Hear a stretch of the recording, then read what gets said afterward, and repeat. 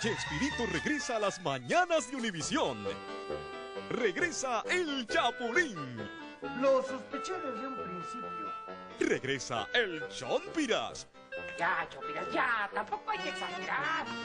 Regresa el Chaparrón. Estás en lo cierto. Regresa el Doctor Chapatín. Pues fíjese que sí. Mañana a las 9.08 Centro.